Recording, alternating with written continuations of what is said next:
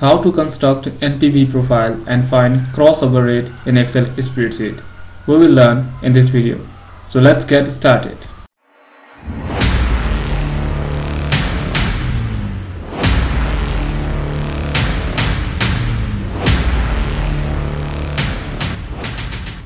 Here is the questions.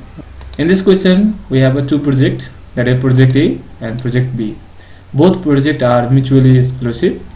That means these projects are the capital project which are compete directly with each other, right? And both projects have a same NCO that is a net cash outlay or initial investment, but uh, different cash flows. Under the uh, project A, the cash flows are different from year 1 to 5th year, while under the project B, the cash flow is same from first year to fifth 50 year okay? And we have a firm's cost of capital which is 10 percent okay? So based on these questions let's construct the NPV profile and find the crossover rate okay?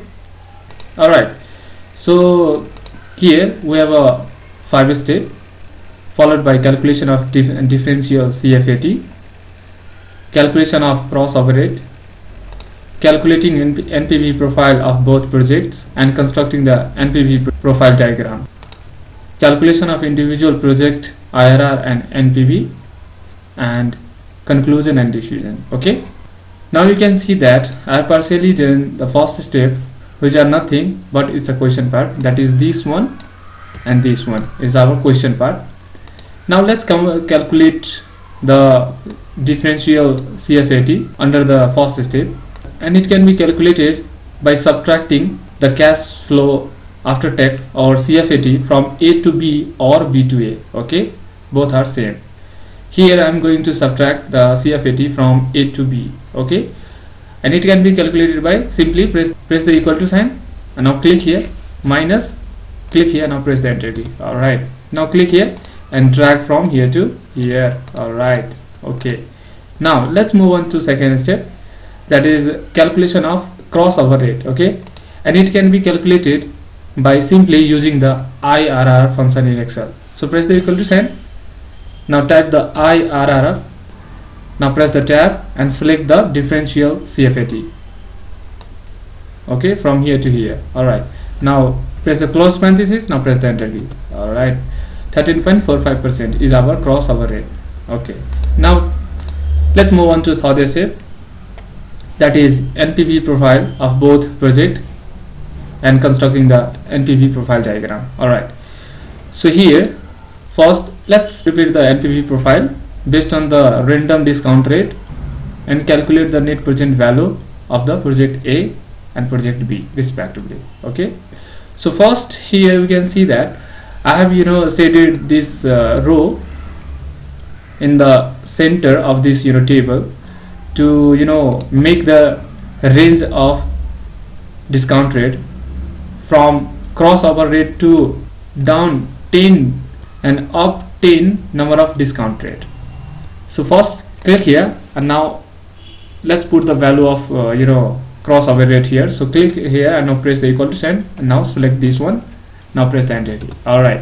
Now let's you know put the value in decreasing scale by subtracting 2.30 percent okay?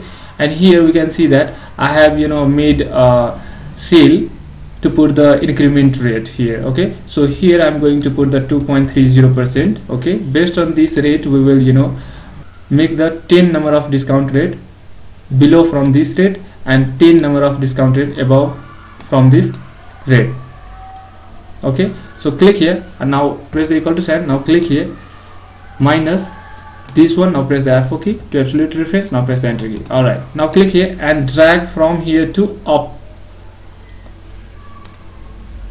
Okay now let's create the 10 number of discount rate from this rate to 10 number of discount rate in increasing scale okay?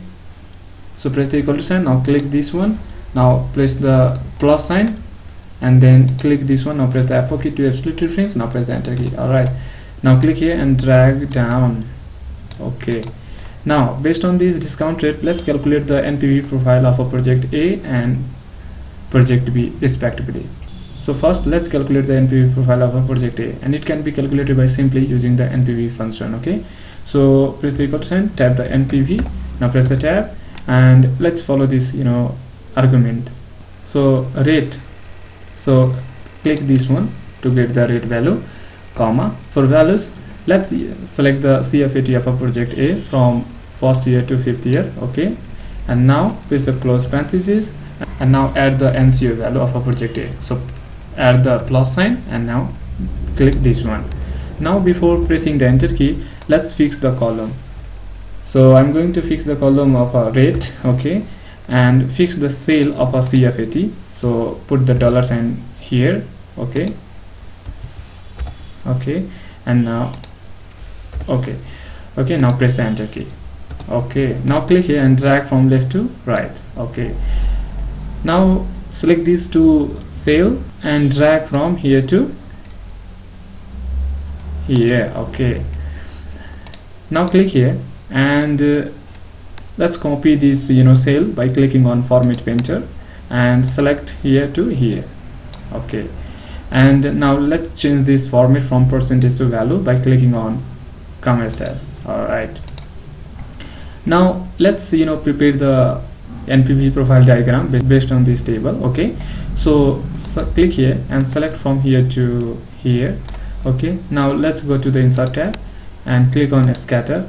Under the scatter diagram let's choose the you know scatter with smooth line. Okay and now click here and now and put here okay? Now let's design this chart quickly okay?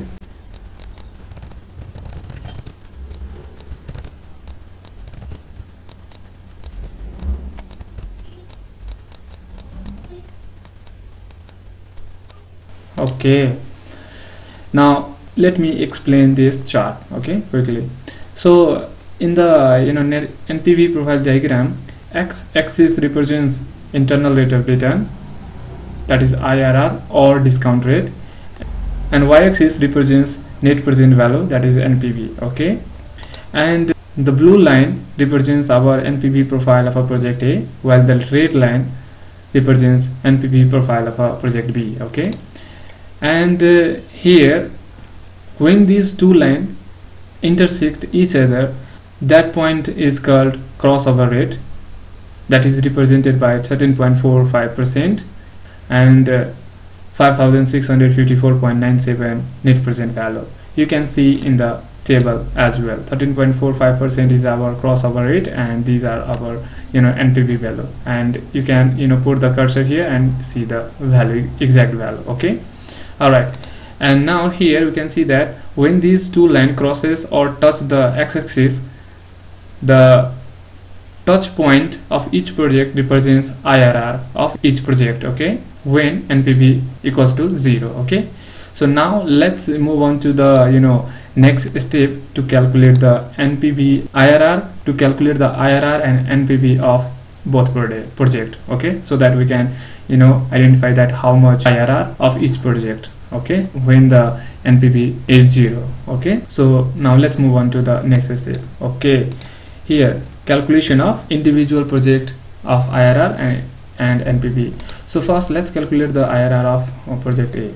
So it can be calculated by using the function of IRR in Excel. So press the equal to sign and now type the function IRR now press the tab and select the range from here to here for a project A. Now press the close parenthesis now press the enter key. Alright now click here and drag from left to right. Okay we got the individual IRR that is exact same in the graph. This value touches the x-axis. You can see that right? For A you can see this one. For B you can see this one. But uh, we cannot you know identify from this graph but uh, the value will become this one okay? If you want to check whether the IRR of individual project is correct or not you can you know calculate the NPV the value of NPV must be zero at this rate okay? So first let's check this out. So let's calculate the NPV of the project at this rate okay? So press the equal sign tap the NPV function or press the tab. And for rate select this one comma for values. So we, we can select the you know cash flows from here to here. Now press the close parenthesis now and add the NCA value. That is this one. Now press the enter key. All right okay? And now drag from here to here okay? You can see the NPV at this rate is zero for both project. That means our calculation is absolutely right. Okay. Now let's calculate the you know individual NPV at k that is at firm's cost of capital okay? That is 10 percent okay? So it can be calculated by simply using the npv function same as earlier. So type the npv now press the tab. And for rate let's select this one. And now press the f4 key to absolute reference comma for values that is we have to select the you know cfat from here to here okay now press the close parenthesis now add the nco value. That is this one. Okay and uh, press the enter key. All right now click here and drag from here to here.